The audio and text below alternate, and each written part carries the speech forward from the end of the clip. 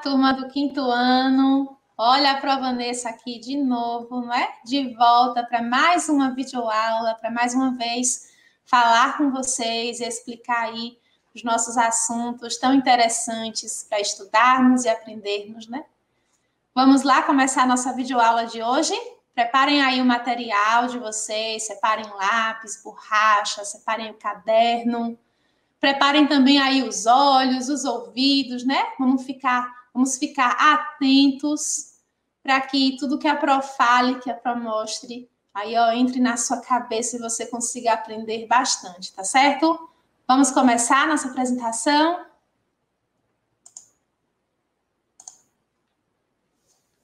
Olha só, turma. Nossa aula agora é de ciências humanas e nós vamos estudar, olha só o tema, conhecendo nossas lagoas. Aí a gente continua ó, com o tema lagoa. Lembrei que a Pro já explicou o que é lagoa, o que é lago, o que é laguna. E a gente vai continuar estudando sobre as lagoas, mas agora na perspectiva aqui de Feira de Santana. Vamos conhecer as lagoas de Feira de Santana? Antes de começar, olha só a leitura do dia. A Pro trouxe esse poema. Estão vendo aí que esse texto é um poema, foi escrito por Carlos Drummond de Andrade e tem como título, ó, Lagoa, não é? Não podia ser um título diferente. A prova fazer a leitura e aí vocês acompanham a leitura junto comigo para a gente prestar atenção aí em todo o sentimento, né, que Carlos Drummond de Andrade quer passar para a gente através das palavras que ele escreveu neste poema. Vamos lá? Lagoa. Eu não vi o mar. Não sei se o mar é bonito. Não sei se ele é bravo. O mar não me importa. Eu vi a lagoa. A lagoa, sim. A lagoa é grande e calma também.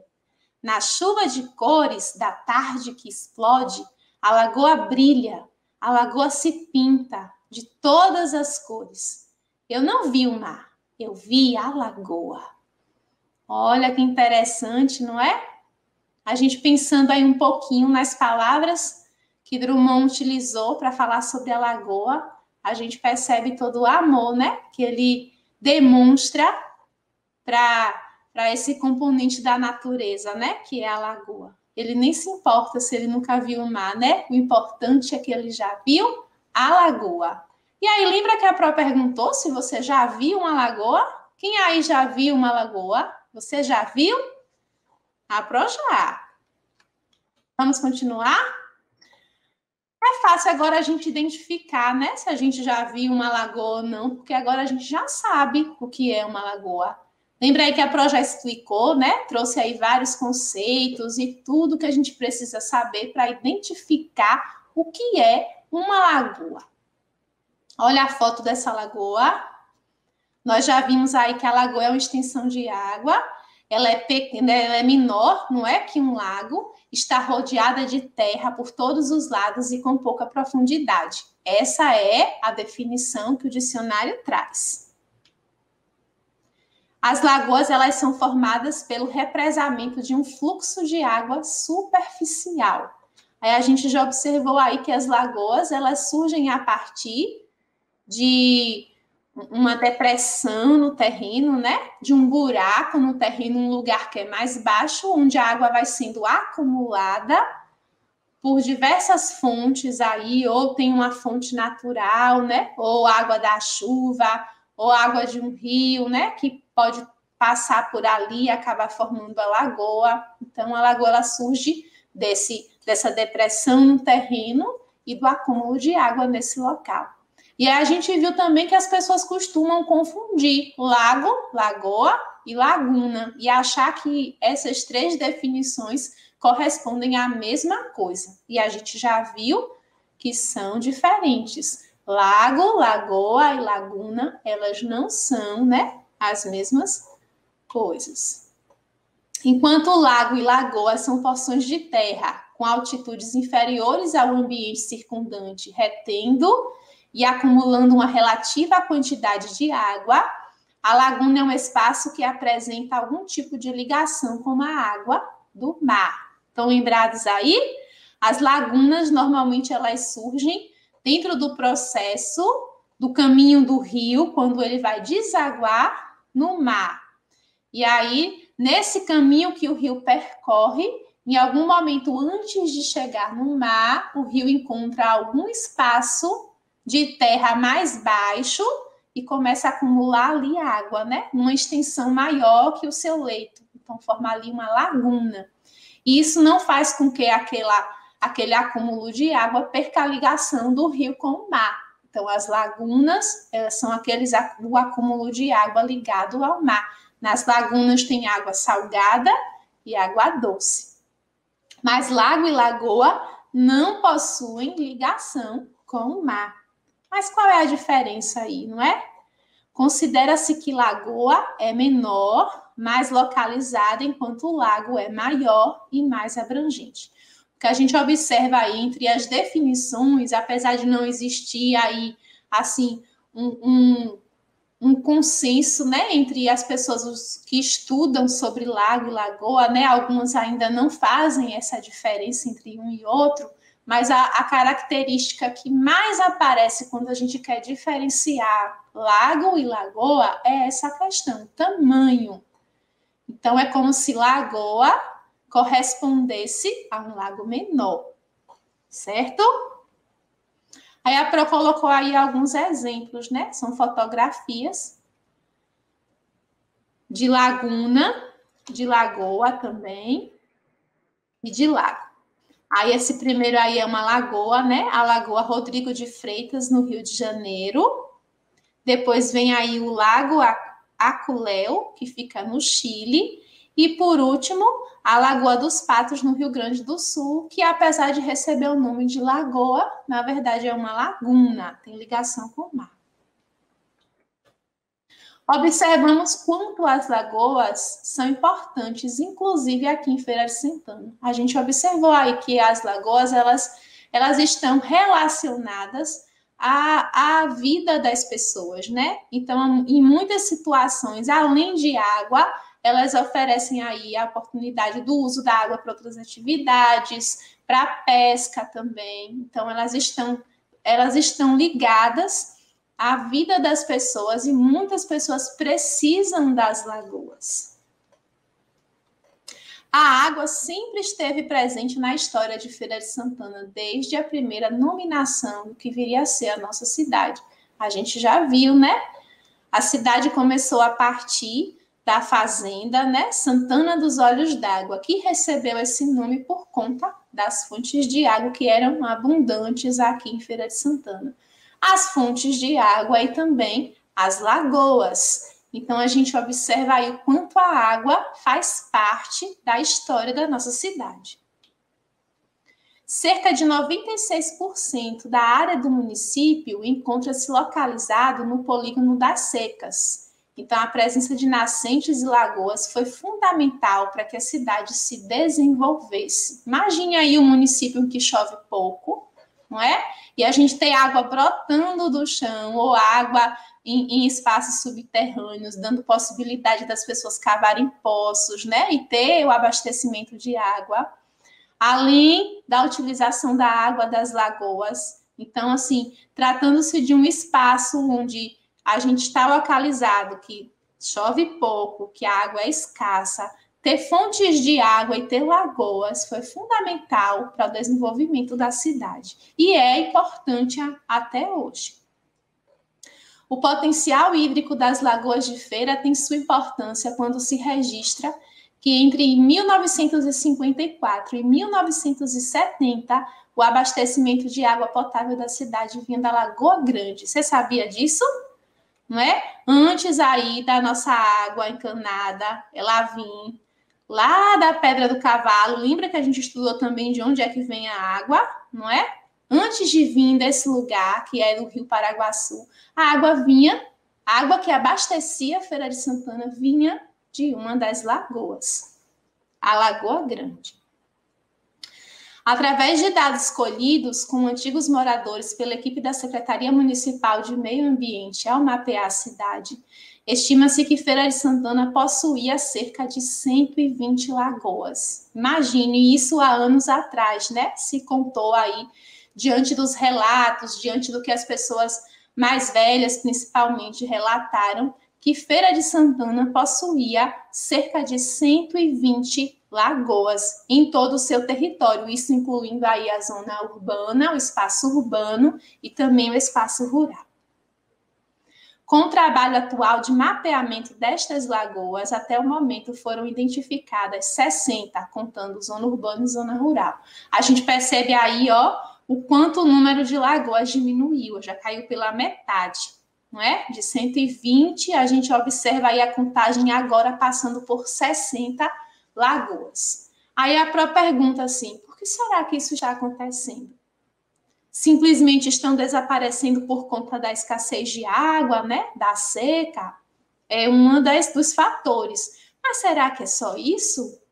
O que, que está fazendo com que as lagoas desapareçam? As lagoas que a gente viu que faz parte da nossa história e que são tão importantes. Vamos pensar, né? Agora a gente vai conhecer um pouquinho das lagoas de feira. Vamos lá conhecer um pouquinho das nossas lagoas? Eu acho muito importante a gente falar de lagoa, entender o que é lagoa e saber que aqui existe lagoa, então conhecer um pouquinho, né? E a Pro trouxe aqui algumas das lagoas mais assim, mais famosas, né? Mais faladas. A gente observou aí que eram 120, passou para 60. Então, se a gente fosse estudar, imagine quantas videoaulas seriam necessárias para a gente estudar todas as lagoas de Feira de Santana. Mas a própria preparou aqui algumas, né? As principais para a gente conhecer um pouquinho. Mas aí, antes disso, a Pro trouxe o mapa, ó. Bacias hidrográficas de Feira de Santana. Lembram aí que a Pro falou da importância do mapa? Esse mapa aí, estão lembrados que tipo de mapa é? É um mapa político, um mapa físico ou um mapa histórico? Estão lembrados? Esse aí é um mapa físico, porque mostra aí as questões hidrográficas, por onde está a água, por onde estão os rios que possam passar aí, ó, no nosso município, no nosso território. Então, a legenda ali do mapa, ela traz cores diferentes para simbolizar as, as características hidrográficas de Feira de Santana. Mas o que a Pro quer que vocês se atentem com maior é assim atenção é a cor azul, tanto o azul claro, né? Quanto principalmente o azul escuro, que está diretamente relacionado às lagoas. Observem aí é, o aparecimento dos itens usando a cor azul aí aqui no mapa de Feira de Santana. Observem aí, ó, essa, essa cor azul está representando né, algumas das lagoas, e a gente observa que aparecem num grande número, né? Utilizando espaços maiores, espaços menores, mas que aparecem aí concentradas no mapa onde mostra as, a, a, hidrografia de Feira de Santana. E a Pro colocou aqui para a gente observar né, o quanto de lagoa esse mapa pode apresentar para a gente. Mas aí a gente vai ver agora, né, algumas informações sobre as principais lagoas de Feira.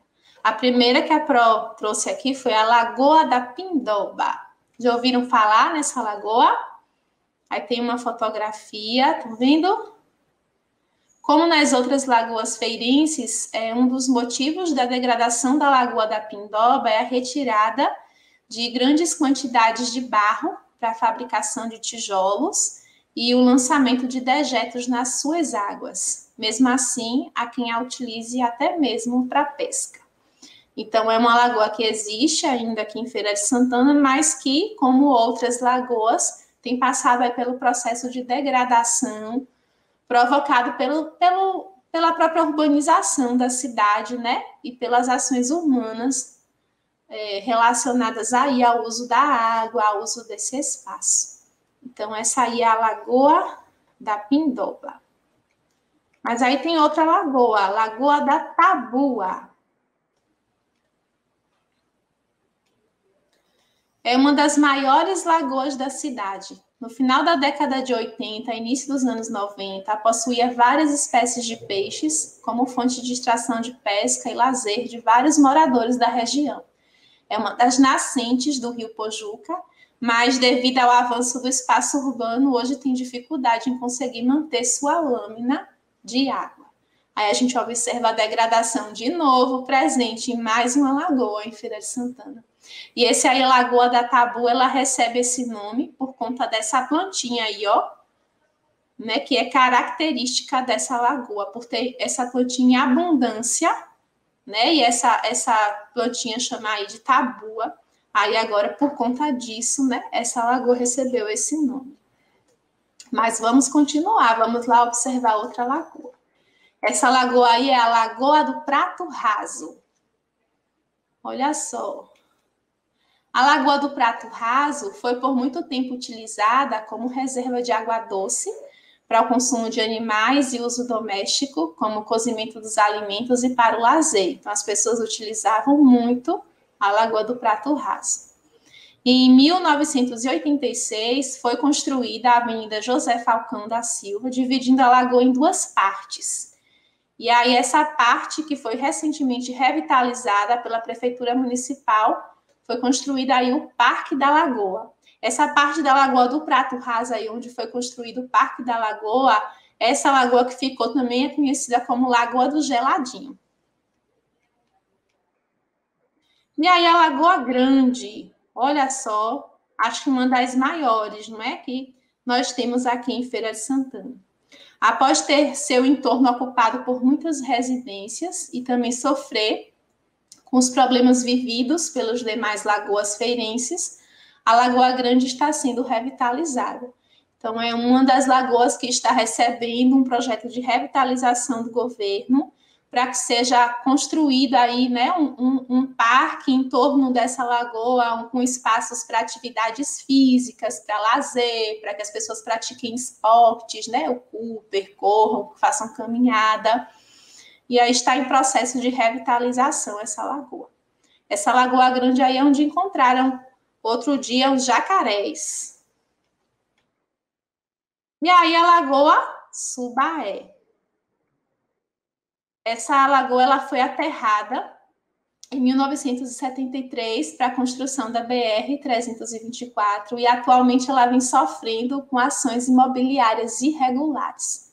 Um fator extra atingiu e atinge a Lagoa Subaé, que é a expansão do Centro Industrial do Subaé, o CIS, que também gerou, é, além do aterramento, problemas relacionados à poluição.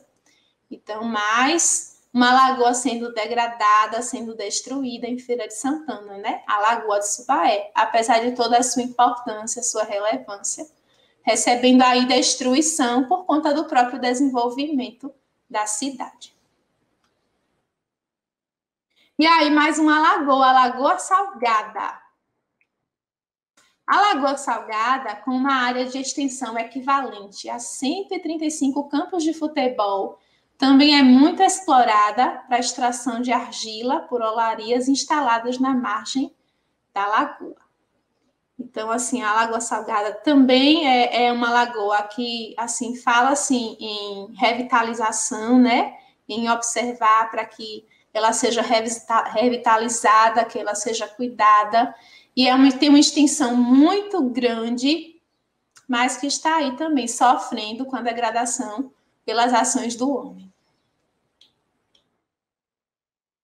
E aí a gente para e pensa, reflete, né? Quando a gente traz todas as informações sobre as principais lagoas, a gente observa que entre as definições ou a localização dessas lagoas, sempre tem a informação de destruição ligada a essas lagoas. Algumas revitalizadas, outras em processo de revitalização, mas se estão sendo revitalizadas é porque foram um dia destruídas ou porque sofreram, né, com as ações de degradação, de destruição.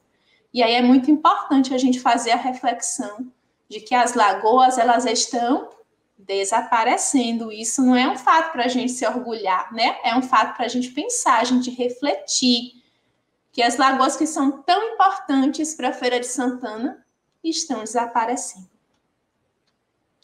As lagoas que sempre estiveram presentes na história e no desenvolvimento de feira passam atualmente por um grande processo de degradação. De 120 lagoas, passaram aproximadamente 60.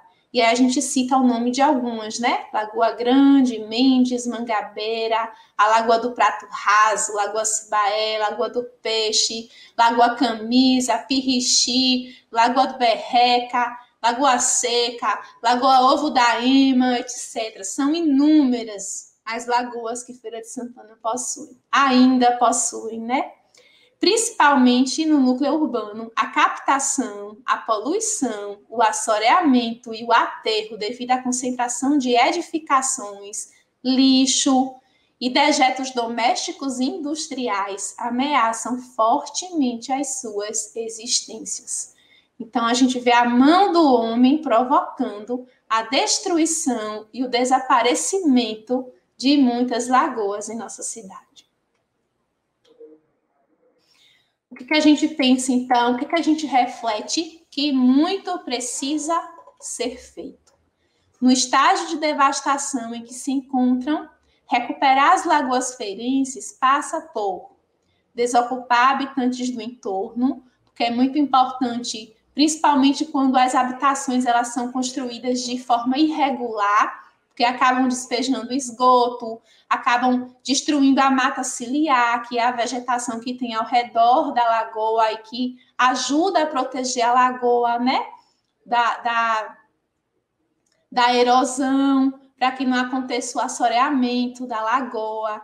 Então, existem muitos processos de destruição que estão relacionados aos habitantes do entorno da lagoa, que fazem é, suas habitações, constroem suas casas sem planejamento e acabam é, destruindo, acabam contribuindo de forma negativa, né? Com a vida ali, com o processo normal da lagoa. Além disso, é preciso limpar e despoluir as águas. Então, é, desocupar, mas também limpar essas águas que receberam aí dejetos, receberam lixo, receberam é, é, esgotos, né? Lixos de indústria, lixo, lixo também de residências. Então, as águas estão sujas, é preciso fazer a limpeza dessas águas. E também realizar obras de saneamento básico nas moradias próximas, para que as, os esgotos, né? Aí a poluição não chegue às águas da lagoa, elas sejam é, destinadas ao lugar correto, que o lugar correto não são as lagoas. Recuperar a vegetação das proximidades da lagoa. É muito importante, né? A mata ciliar, que é a, a vegetação que, que tem ao redor das lagoas, elas protegem a, as lagoas, elas protegem o solo ao redor das lagoas. Então, é muito importante pensar na recuperação dessa vegetação também que, que cresce ao redor das lagoas. E assim, voltando, é bem importante voltar a essas questões do que é que precisa ser feito, porque assim a gente observa que em meio a essas ações, algumas ações correspondem a ações que as pessoas podem fazer de forma individual, mas a maioria dessas ações, elas envolvem o poder público. Então os governantes é que precisam tomar medidas, né? Elaborar projetos de revitalização, incluir as lagoas e fazer todo esse processo de desocupação dos habitantes irregulares, de limpar, de realizar as obras de saneamento básico. Só que o que acontece é que essas obras normalmente têm um custo muito alto. Elas custam milhões e milhões e muitos governantes não têm interesse em fazer uma obra desse tipo e alegam sempre essa questão da falta de dinheiro, e o tempo vai passando e as lagoas continuam sendo destruídas. Então, é importante ter a nossa atenção enquanto indivíduo, enquanto cidadão, para poder fazer aquilo que corresponde à nossa parte em relação à proteção às lagoas, mas é importante a gente também cobrar, né, daqueles que nos representam no poder público, ações que possam promover a revitalização, as obras de revitalização das lagoas que existem aqui no nosso município. E a Pro colocou aqui, ó, algumas curiosidades que eu achei muito interessante em relação às lagoas aqui de Feira de Santana. Na Lagoa Grande de São José foi encontrada uma imagem do santo São José. Essa imagem foi levada para a Praça de São José, onde foi construída a igreja. Aí reza a lenda, né? Conta aí as histórias que as pessoas ficam repassando, que a imagem voltava sozinha para o local onde foi encontrada até que construíram um cruzeiro no local. Já ouviram falar aí dessa história? A Pro colocou uma imagem aí da lagoa, da Lagoa Grande, para a gente associar aí um pouquinho. Vamos lá, outra curiosidade sobre uma lagoa aqui de feira. É a Lagoa do Prato Raso. Vocês fazem aí ideia do porquê que essa lagoa foi chamada, né? Lagoa do Prato Raso? Qual a origem desse nome? É, a origem desse nome é porque os moradores do local que costumavam lavar os pratos lá quando o prato caía no fundo da lagoa, dava para ver onde havia caído e pegá-lo de volta, pois a água era rasa e clara. Então, por isso, passou a se chamar Lagoa do Prato Raso. Olha só aí a fotografia. E a gente vai para uma curiosidade aí de uma outra lagoa, a Lagoa do Geladinho. A Lagoa do Geladinho possui este nome, pois quando as mães iam lavar roupas na lagoa, eh, as crianças costumavam levar geladinhos para se refrescar e quando terminava, olha só, jogava os saquinhos dentro da lagoa. Então a lagoa ficava cheia de saco de geladinho e aí o povo começou a chamar a lagoa do geladinho. A ação, a ação errada dessas crianças, né? Que a gente sabe que não deve jogar lixo em lagoa ou em nenhum outro ambiente como este. A Lagoa do Geladinho a gente já viu, né? Que agora foi revitalizada e aí a gente tem um parque. E aí essa aqui eu achei a informação assim bastante interessante, né? Bem curiosa, que é sobre a Lagoa de Berreca. A Lagoa de Berreca é outra lagoa muito importante para o município.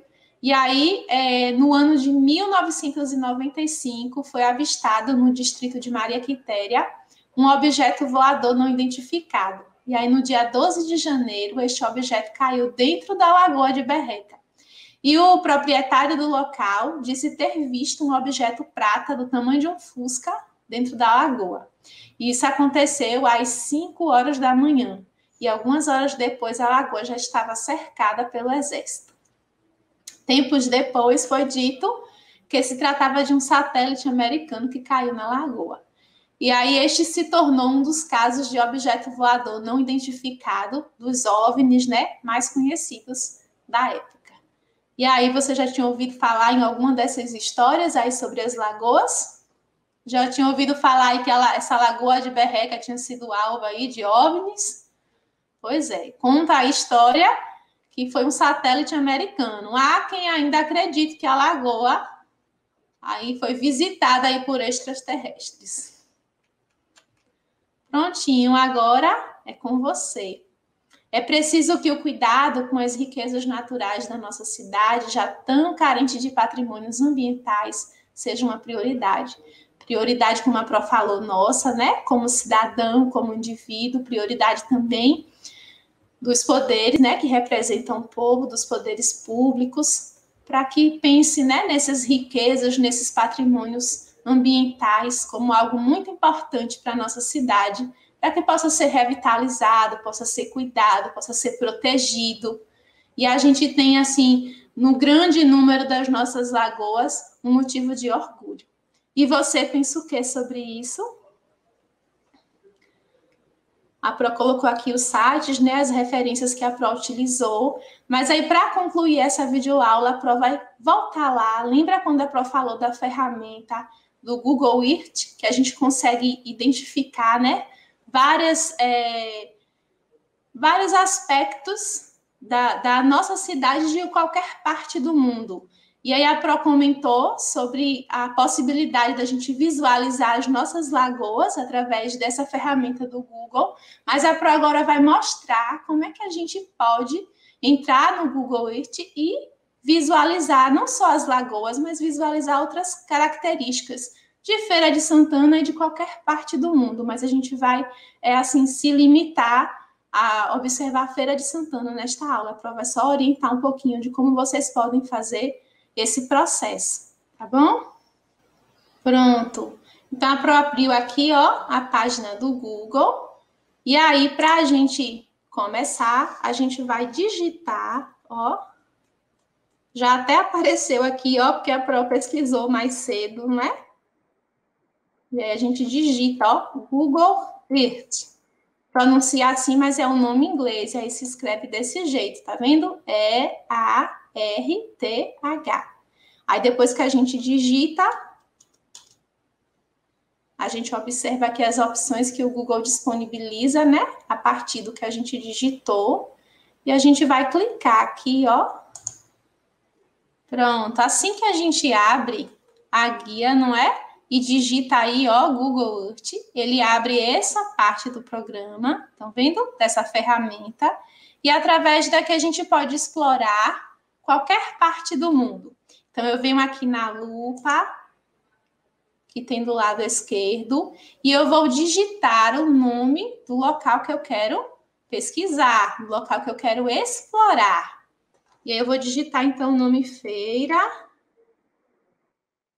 de Santana.